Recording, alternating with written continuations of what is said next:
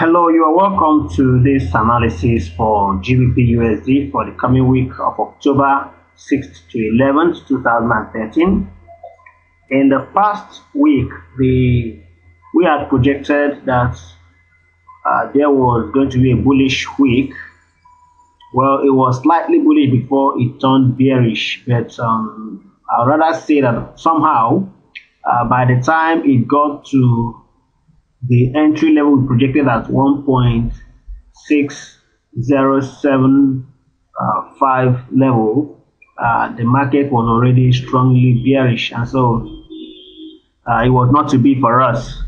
Okay, so but then uh, following the market from the opening with a small, a little gap at 1.6145 I still extended it all the way to 1.6262, which was good deal for those who followed that. All right. Okay. Um, for this the coming week, uh, we are going to be focusing on the trend and then our possible entry level. Okay, we won't be using the COT reports in this analysis simply because uh, the COT reports was not released as a result of the US government shutdown. Okay, very quickly, the trend for this week based on price action, we have a price pattern formed here, and this is a dark cloud cover and is strongly bearish. And so with this, I do not need uh, much analysis on this other than to state that in the coming week we should be expecting a strongly bearish week for the GBP USD. In addition, if we check out the US dollar index, the US dollar index in the uh, week that just ended formed a hammer here, and on the last trading day, which was Friday, formed a bullish engulfing. Okay, now for the same GBP USD, if we check the daily time frame, it's a strongly bearish continuation pattern that we had in the last trading day of the week, which was Friday's day. Okay, so in the coming week, we are strongly bearish on GBP USD. Now using the switching over to the 4 hours time frame and bringing in the trend line uh, to this, we'll be seeing something like this here. This is bearish trend in place. And if we also operate with what we have got here of course this is where the rejection started. Okay so based on this the market is gonna be strongly bearish. So how about our entry levels for this coming week? Uh, very quickly um, we have already run the five points analysis and I've picked my key levels here. This is 1.6093 for the point, and the Camarilla sell is at 1.6081. And if I bring them in as I have them here already,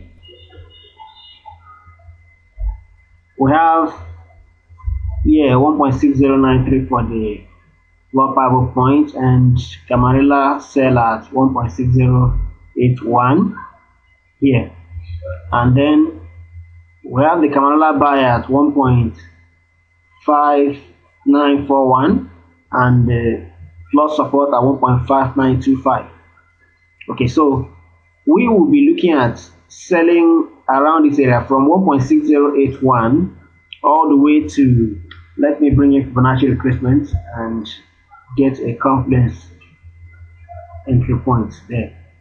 Okay um, based on the fall from 1.6262 to 1.6007, which was the lowest recorded in the past week, uh, 1.6104, which is 38.2 retracement level, tends to have slight agreement with 1.6093 and 1.6081. However, uh, 50% retracement of Fibonacci is at 1.6135, which is in agreement with 1.6139 which is where we have the Woodie's R1 and at the same around the same area we have the the max uh, top sell level at 1.6137. So here is a sell area for us. Here is another sell area. So we have two sell areas this week. So uh, the first sell takes place here, a possible second sell may take place here. But then after a first sell here, price is likely going to go all the way depending on what happens, whether it comes down here first. If it comes down here first, it's likely that is around. Now, if you look at where, uh, if we if we look at where it began in the past week, let's draw a matching line there, a replacement line there. That's around 1.5696. So that was the lowest of the you know the penultimate week. So if we take that into account, price retesting that place, there's like there's a strong support there, and there's the likelihood of it bouncing back up to come back, possibly pierce through here, test through uh, 1.6139 level, and for the next sell that may still take it down to this place. All right, so likely price may not definitely break below 5956 in the coming week.